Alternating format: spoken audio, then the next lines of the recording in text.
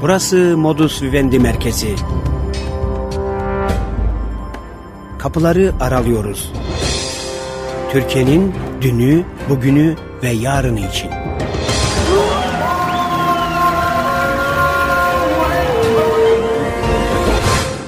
Sayın dinleyiciler ve sevgili soydaşlarımız, Kobane Kobane adlı programımızı sunuyoruz.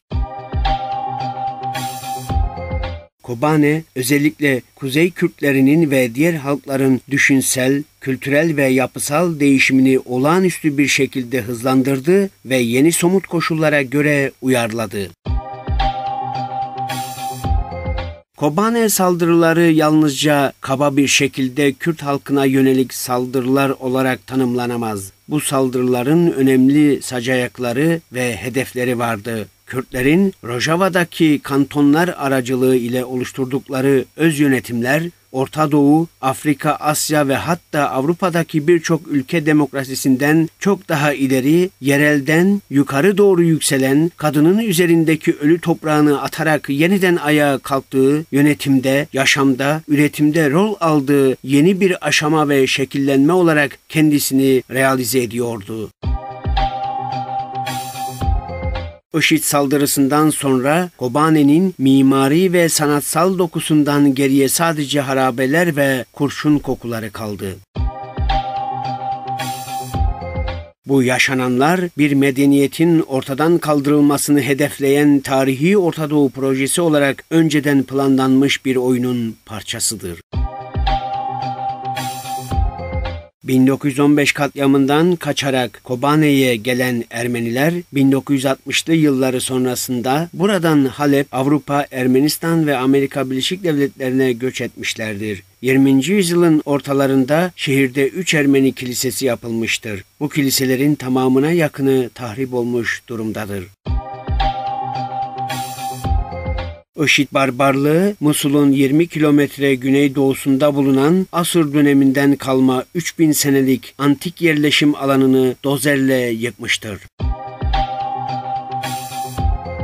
her türlü barbarlığı ve vahşeti sistematik olarak uygulamasının arkasında Orta Doğu'da halkların kardeşlik ve barış içinde yaşama umutlarını yok etme düşüncesi vardır. IŞİD'i kontrol eden üst stratejik aklın hedefinde barışın ortadan kaldırılması vardır. O yüzden Mezopotamya coğrafyasının en önemli iki medeniyeti, Asur medeniyeti ve Babillilerin bütün eserleri tarih sahnesinden silinmek istenmektedir.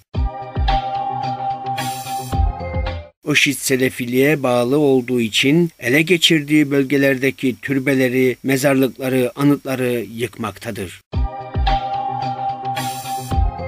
Halk Koruma Birlikleri YPG'ye kıt kanaat ve büyük zorluklarla gelen takviye kurşunlarla kesilirken IŞİD'in bomba yüklü tankı intihar saldırganları Türkiye kapısını kullanarak Kobane'ye girebiliyordu. Bunun en somut örneğini ise 29 Kasım 2014 tarihinde Mürşit Pınar kapısından Kobane'ye yönelik olarak gerçekleştirilen büyük saldırıda görüldü. IŞİD'in bomba yüklü bir tankı ve iki intihar bombacısı Türkiye tarafından girerek kendilerini ve aracı patlattılar intihar bombacıları biri Türk polis noktasında olmak üzere YPG savaşçıları tarafından imha edilirken tank ise Kobane'ye girerken infilak etti ve 11 YPG savaşçısı ve asayiş görevlilerinin yaşamını yitirmesine neden oldu. Ezidi Kürtler feodal bir toplum, erkek egemenliğine ve hizmetine sunulmuş bir varlıktır. Henüz emekleme aşamasındaki Rojava devriminin üzerine korkunç bir barbarlıkla saldıran Orta Doğu'nun egemenlerinin kontrgerilla kuvveti IŞİD çeteleri Kürt halkının hiçbir parçada herhangi bir ulusal demokratik kazanım elde etmemesi, kazanılmış olanların da geri alınması, bastırılması için durmadan saldırıyor. Kobane direnişi ve kazanımı diplomatik, askeri, siyasi, ekonomik, güncel ve tarihsel birçok sonuç doğurmuştur, doğuracaktır da. Dünyanın egemenlerinin korucu çeteleri vahşi her türlü insanlık değerinden yoksun, akıl almaz bir saldırı gerçekleştirdiler. Bu saldırılar halen tamamen bertaraf edilmiş değil. Kürt halkını statüsüz bırakmak için sürdürülen bu saldırılara karşı devrimci güçler gereken cevabı veriyorlar ve vermelidirler. Kobane, Kürt ulusu başta olmak üzere Ermenilerin de aralarında bulunduğu azınlık milliyet ve inanca sahip halkların yaşamış olduğu coğrafik bir bölgedir. Kobane'de yaşamını idame eden ulus ve halklar tüm dünya ulus ve halklarına umut ışığı olmaktadır. Şu bir gerçek, şiddeti doğuran hiçbir zaman halklar değil, faşizan ırkçı sistemlerdir. Sayın dinleyiciler ve sevgili soydaşlarımız, Kobane Kobane adlı programımızı dinlediniz.